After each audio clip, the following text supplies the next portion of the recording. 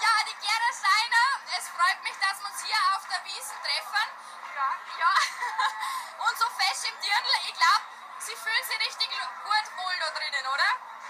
Ja, das gehört ja bei mir schon fast zur Berufskleidung dazu. Und äh, ich bin ein echtes Münchner Kindl, da gehört ja ein Münchner Dirndl dazu. Genau so ist es.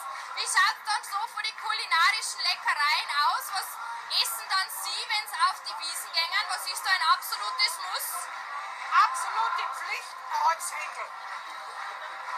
Und ein paar die Wiesenbrezen gehört natürlich auch dazu.